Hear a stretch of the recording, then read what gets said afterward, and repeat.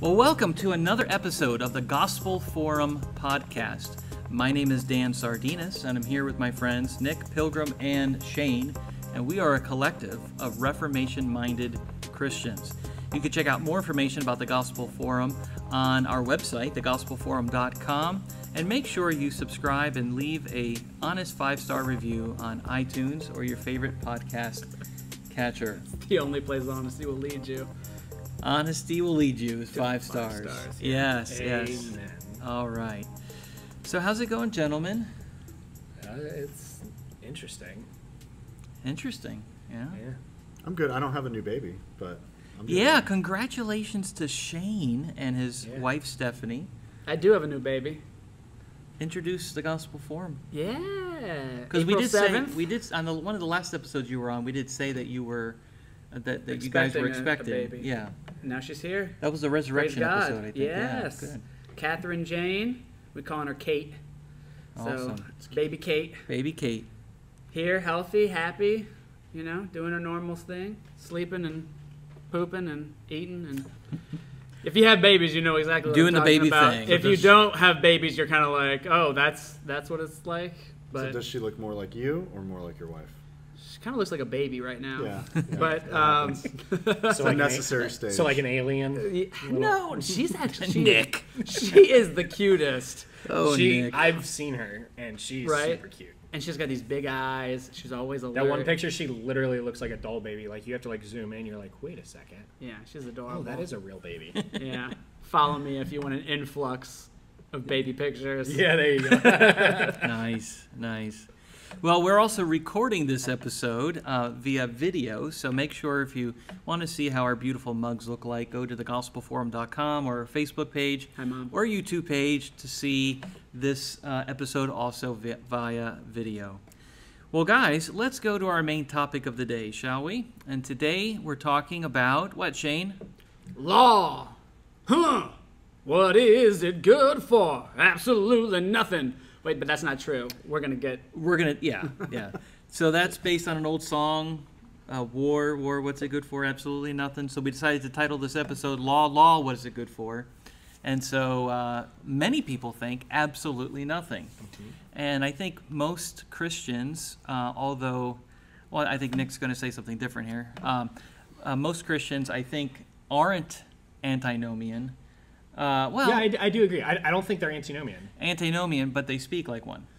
Uh, yeah, I think most Christians are legalists. And antinomian, let's just define some words here. Anti-law. Anti-law, meaning law, law, what's it good for? Absolutely Yeah. nothing. Or- Okay. Or, and- lawless, if you will. Or lawless. Yeah. And I think typically when people go that route, they have a fear of the law. Yeah. Like, uh, you know, oh, well, I'm saved by grace. You know, I can't work my way to heaven, so what, Yeah. what good is the law for? Yeah. Amen. Of course, we agree. Yeah. right. Yeah. No, I think we should be afraid of the law because it brings condemnation, uh, and which we'll we'll see here in a minute. But but yeah, like in one sense, we should be afraid of the law in that regard.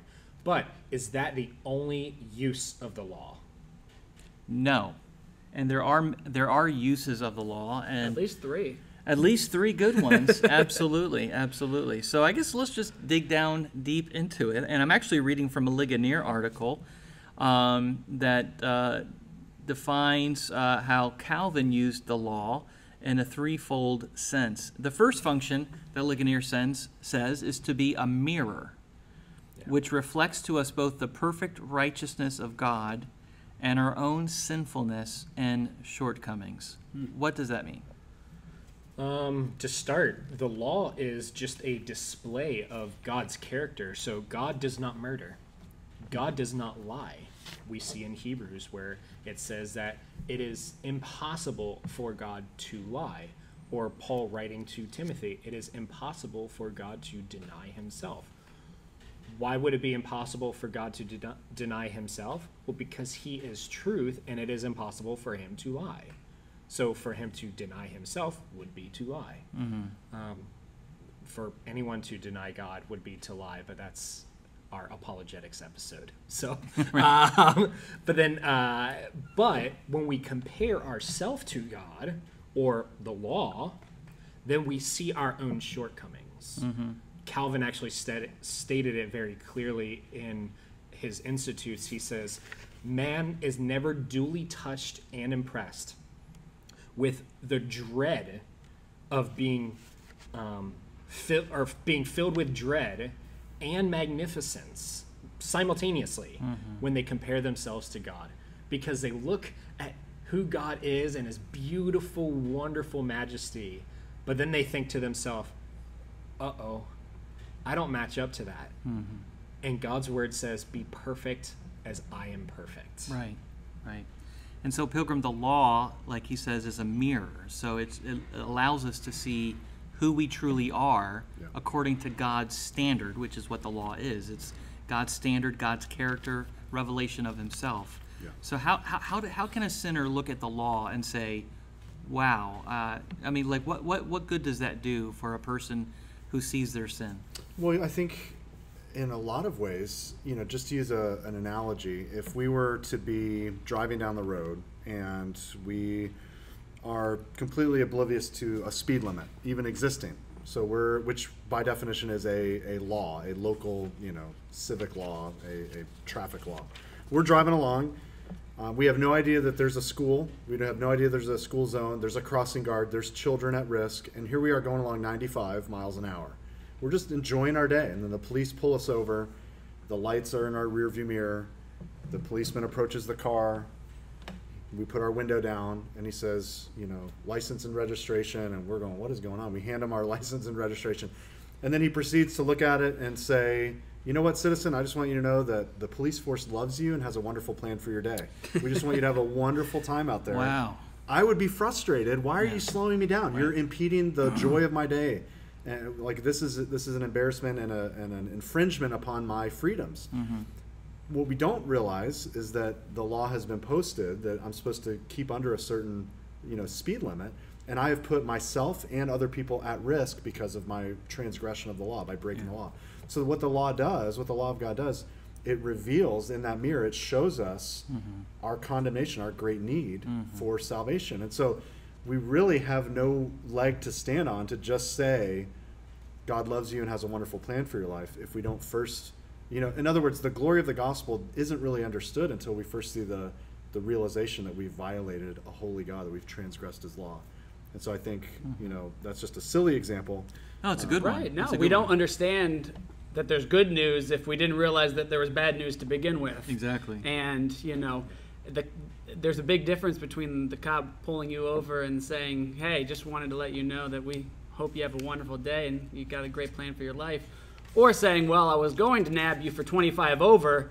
But I'm going to show you some mercy and grace and let you off on this one. Well, those are two different uh, stories, and I think a lot of times that's why, in our current time, in our current culture, it's very easy for people to say, "Well, no, I mean, I'm the, I'm glad that works for you. I'm glad this is something that you enjoy or you get something out of, but I don't really see a need for it. I, you know, it doesn't mean anything to me because, well, maybe maybe they feel like they have a wonderful plan for their own life and things are going just fine because we haven't shown them themselves up to the mirror of Right. God's law. Hmm. Yeah, like Romans chapter 7, verse 7 says, What then shall we say? That the law is sin? By no means. Yet if it had not been for the law, I would not have known sin. And so that's, you know, and he goes on and talks about uh, covetousness specifically. Um, but the law in itself, it reveals to us. It brings the knowledge of sin. Well, and I mean, like, running with that Romans 7 passage, it ends after kind of wrestling with the law, I think where we need to bring people to end, where Paul actually says, For I delight in the law of God in my inner being, but I see in my members another law waging war against the law of my mind and making me captive to the law of sin. And he says, Wretched man that I am, who will deliver me from this body of death? Hmm. And I think that's where we need to use the law because, we got some background noise. That's okay. wow, just construction going on. Um, As you're constructing your own narrative here. very nice. I like that transition. but we need to bring people to that question when we're giving them the law is who will deliver me? Yes. Right. Because what happens if we don't do that is we, and you can see this subculture, unfortunately, it's becoming the normative culture in Christianity, where there's no repentance in in a gospel presentation. So it's add Jesus to your list of things that you like. Right. So I self-identify now as a Christian versus no, I'm going to Mm-hmm. turn from my sin. I'm going to die to you know the law, die to the old man. I'm going to now put on Christ and you know I'm repenting and turning in faith to Jesus. It's just I have a you know list of things I like to do, and Jesus is one of them. Right. Right. Yeah. Add Jesus to your secular worldview. Right. Yeah, Right. exactly. Syncretism. Yeah. Yeah. Yep, exactly.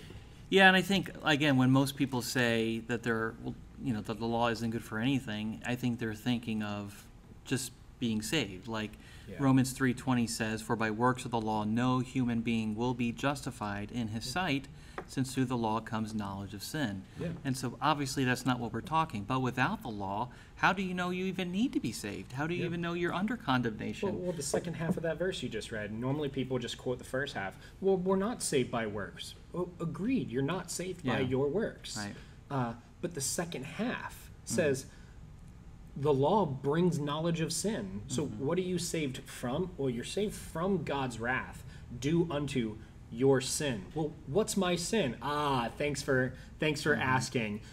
Do you uh, have you ever murdered anyone? No, I've never killed anyone. Well, have you ever hated anyone? Jesus said, if you've ever hated anyone, you've committed murder in your heart.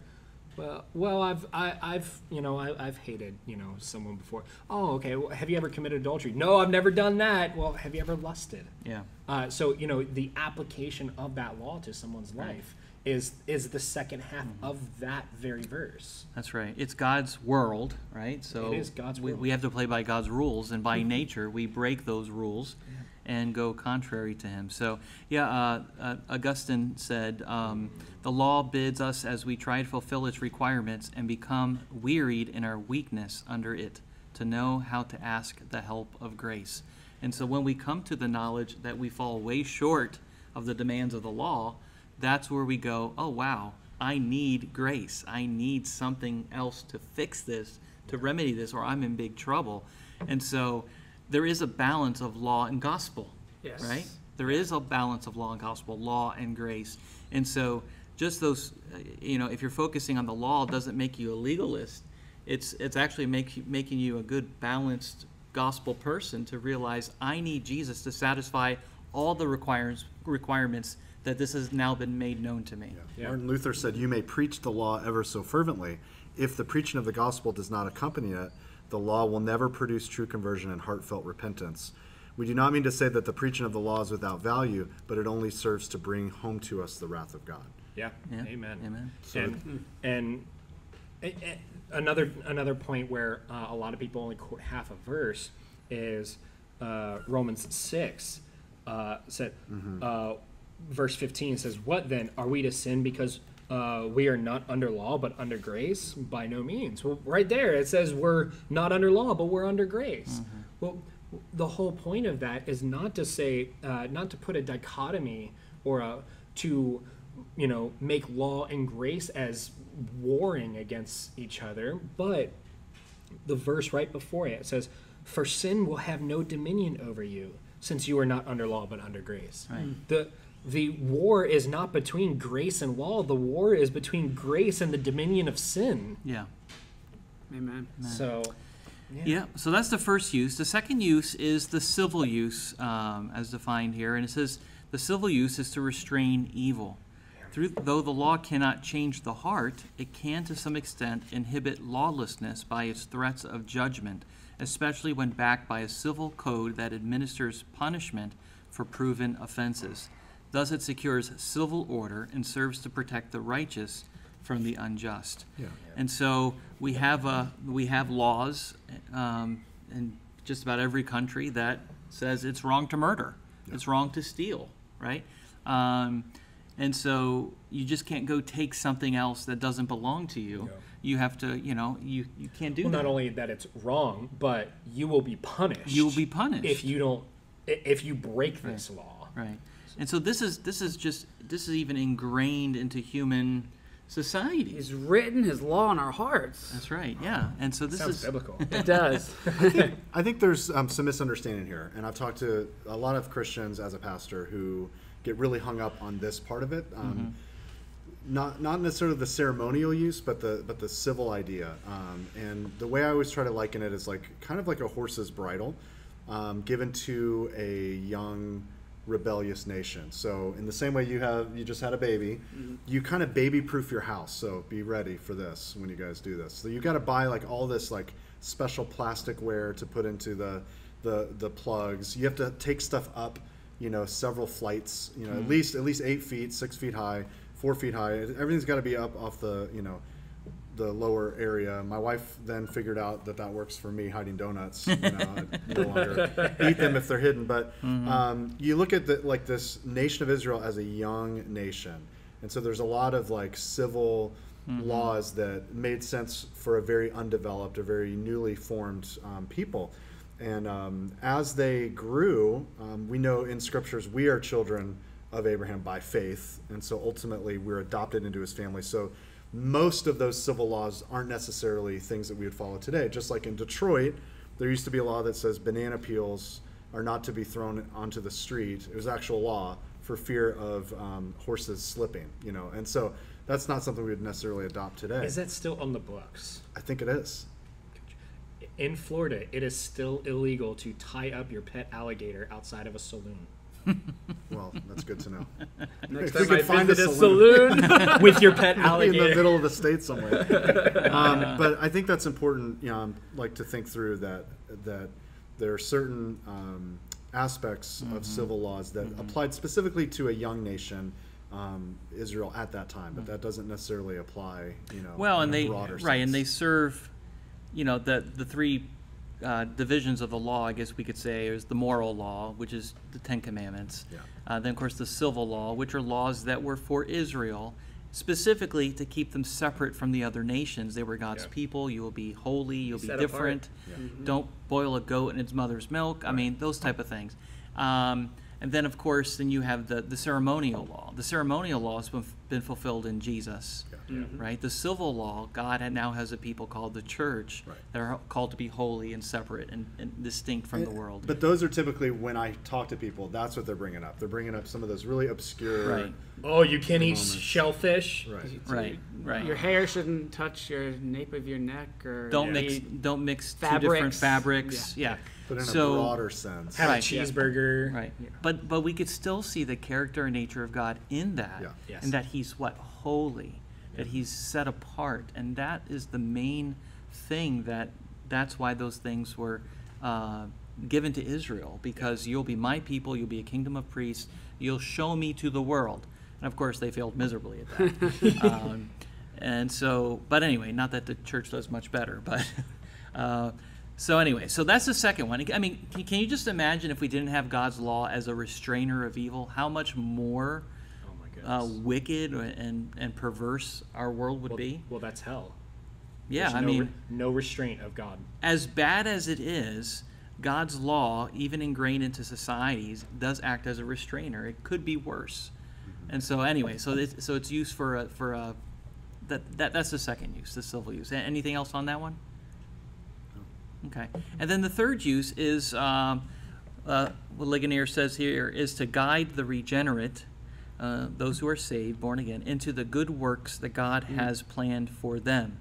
The law tells God's children what will please their heavenly Father. It could be called their family code.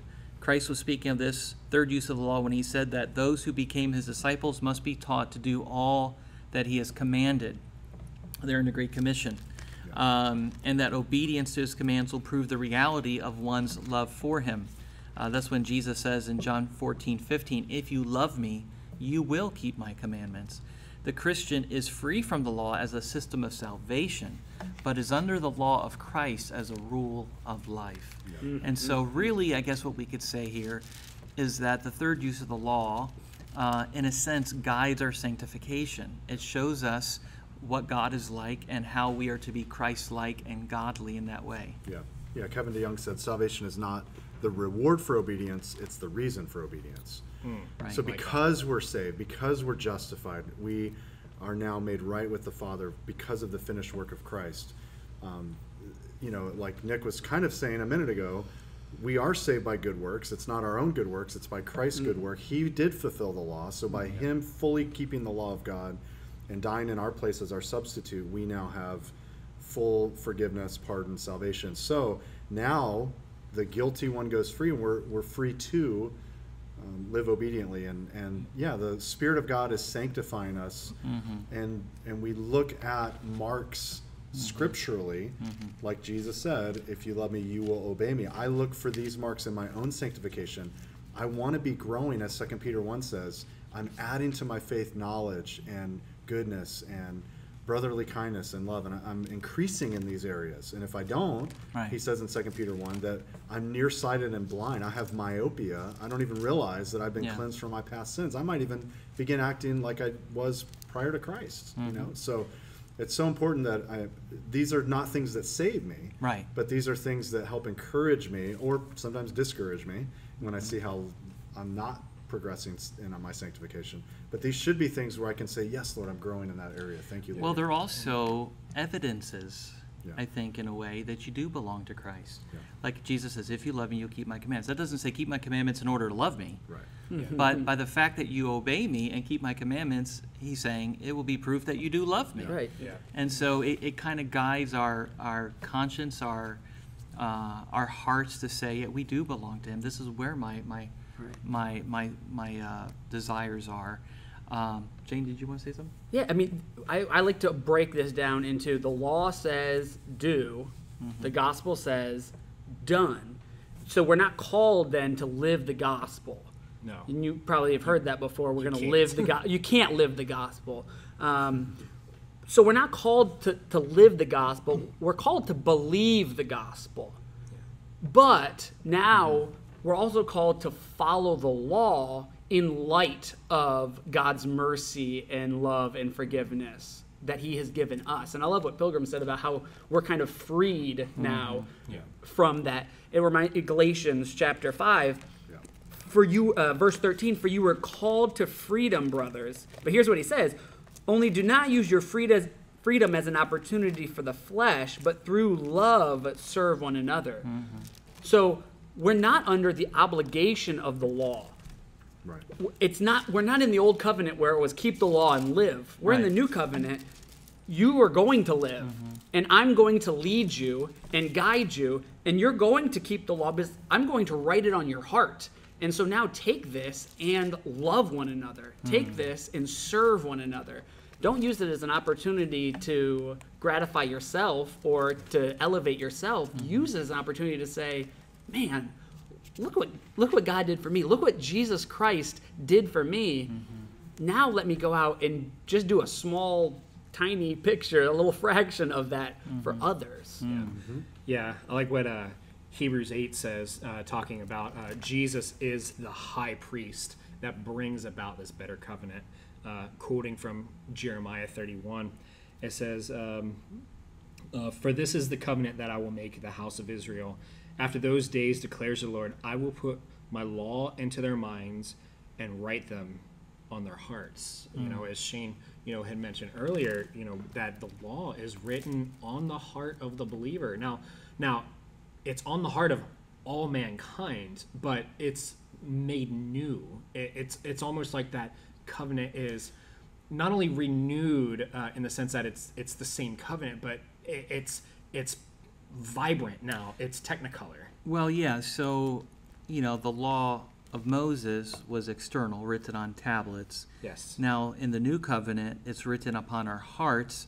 And that Ezekiel passage or Jeremiah passage that speaks about the new covenant, Mm-hmm. God says, I will cause you to walk in my ways. I will Yeah, cause you Ezekiel to. 36. I mean, it's so beautiful. So Yeah. before, it was required for outward obedience to like, oh, okay, I got it. But now God does it in us, through us, Yeah. Yeah. and gives us uh, the desires. He changes our affections for Him. Um, I mean, what a beautiful picture that is. Yeah. And so, even when we keep the law, obey the law, it's in the power and authority of Christ. Yeah. It's through His. We finished- still can't point to ourselves. Right. We It's, still have to through point the, it's through the. Holy Spirit. Well, well, it's like what uh, Romans eight says. You know, a lot of times, you know, people use it in talking about like the depth of the sin of man. But the point of the passage is to say that we are all re- still required to fulfill the law. Right. But the mind that is set upon the flesh cannot do it. It does not do it. It rebels against it, and it says, indeed, it cannot. Right. So, what's it saying there? It's actually saying that God requires unbelievers to fulfill his law, people that are unable to. Hmm. And, and a lot of people will say, well, that's not fair to say that God requires people that are unable to fulfill the law to do it. But the whole point of that is to demonstrate that you can't do it. Hmm. You need someone else. That's right. Yeah, yeah. Paul, you know, speaking to the very confused Galatians who had a lot of outside influence, you know, says in chapter three, verse one, "O foolish Galatians, who has bewitched you?" And he goes on to say, um, "Did you receive the Spirit by works of the law or by hearing with faith?" Um, Having begun by the Spirit, are you now being perfected by the flesh? So Yeah. it's still by faith. We're not we're not min- diminishing that. We're not saying okay, the Christian life is now lived by the law. It's by faith. But what we're saying is the Spirit of Christ actually empowers the believer so that we fulfill the law. Not I don't want to say accidentally, but we realize God is doing this in and through us. It's a like a cool story. I- know isn't a lot of sermon fodder, but you know it's probably not a true story. But this woman finds this um, husband, and he's just like a taskmaster, and he's just demanding all these things. Um, and she grows to hate him. He dies, and then she finds in the attic one day, as she's newly married to this amazing guy, she finds one of his lists, all these things that you know he demanded her to do. Well, now she found herself recounting that list, um, and she had been doing those things for her new husband. You know, just motivated by love, not motivated by law. So I guess that's kind of what we're saying is it's the mm, motivation is ultimately by faith, Right. Because we're now you know the work has been done, it's been paid. And I, I like what you said there. Moti- motivated, mo- ugh, Motivated. motivated. My wife's gonna make Word fun of the me on that one. day. Motivated. Motivated. Uh, Hi, Lisa. yeah. Um, you know, motivated by love, but love and law are paired at mm. that point.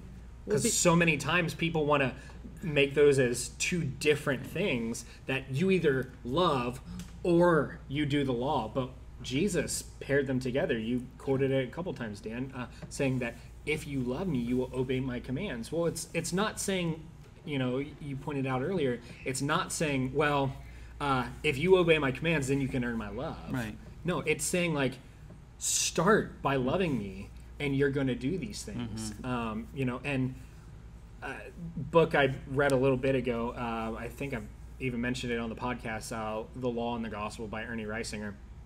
Uh, there's a section in there. He was saying that uh, that love and law are together, uh, but they not only work together, but they're complementary because love cannot be its own definition. Love needs a definition, and the definition of love is the law. Well, why do you honor your mother and father? Because you love them. Why do you not steal from others? Because you love them. Mm-hmm. Why do you not take the Lord's name in vain? Because you love Him. because you're motivated. By. Exactly. Yeah. You know, and Awesome. and, and it's amazing that you know modern mm-hmm. movements mm-hmm. you know use love it's its own definition now mm. you hear love is love mm. well if i said doorstop is doorstop you would think i'm speaking nonsense but yet in this they're they're trying to use love as its own definition rather than law as the definition for love mm. and love is the motivation for law The law is love, and the law is good. yes And Spurgeon says, There is nothing in the law of God that will rob you of happiness. It only denies you that which would cost you sorrow. yeah. So God has given us this law now because He loves us and because He desires good for us and good for others. And so that's how we have to really walk in that obedience. Not because we're looking for ourselves, but because God's best it, god's love is really best translated through his law and through what he has given us Amen. Can I make one more point on that? The same exact point is this is not just a New Testament thing. This this has always been the case. You look at the way the uh, Ten Commandments are structured. Well, a lot of people think, okay, well, it starts with you know, uh, you know, you know, you shall not have other gods before me. But there, there's a verse right before that. It says, uh, and God spoke to them with these words, saying, "I am the Lord your God, who brought you out of the land of Egypt, out of the house of slavery." you shall have no other gods before me. So this is God's love is being poured out on them. And then he defines how his love is to look. That that reciprocated love uh, back to him is to look like. It start it, it has always started with love. Hmm. Yeah, and First John 5 3, this verse is just right here. For this is the love of God, that we keep his commandments, and his hmm. commandments are not burdensome. Yeah. So without the law, we have no gospel, mm, right? Yeah. Without the law, we would have nothing for us to look into and say, I'm a sinner, I failed, I need God's grace. Without the law, there would be more evil in the world as the restraining uh, factor would be gone. And as Christians, we would not know how to, to what a Christ like um, example truly is to live by. Um, the law of Christ, even that Paul speaks of in Galatians 6 2, bear one another's burdens and so fulfill the law of Christ. They're- yeah. Christians are committed, commanded to fulfill the law, to keep the law. Uh, but of course, in a much different way than most people anticipate. Another good resource on this is um, a book called uh, The Whole Christ. Yes. I was just going to recommend that. The yeah. Whole Christ by uh, Sinclair Ferguson. Uh, it's could be a little bit of a deeper read for some, but it is an excellent read. Uh, so uh, work your way through it. You will learn a lot about antinomianism and legalism and uh, the Marrow controversy there that was behind all of that. So very, very good uh, recommendation. Yeah. Yeah, yeah. I, I just think uh, you know we just need to be careful and not just uh, call people legalists and Pharisees. You know, if someone is focusing on the law, because a legalist and a Pharisee is simply someone who thought they could achieve the law, whereas you know what we're doing here is saying no, the law is higher than that because you can't. So having a high view of the law says you can't achieve it. A low view of the law says you can. Very Well, good. and by nature, people people who reject the gospel do so because of some sense of moral uprightness, some sense of I'm Yeah. a law-abiding citizen. Yeah. I'm a my I'm grandma, not that bad. right. I'm not that bad. My grandma, you know, should be in heaven because she was good, and Yeah. so there's still that appeal. And I think the moral law reveals the moral lawgiver, and so Yeah. it's a great opportunity Yeah. for us to point people to Christ. Yep. Amen. That's right. Well, good. Well, uh, let's go to our gospel nugs for the day. And uh, Shane has our gospel nugget. Let us have it, Yeah, brother. So we've been talking a lot about Jesus is the greater fill in the blank with uh, the character of the Bible. So I think we've talked about Daniel and David, and uh, we did Abigail, Melchizedek. Melchizedek. Yeah, I mean, we've done a lot of these. I'm actually going to an object for this one in our gospel nugs.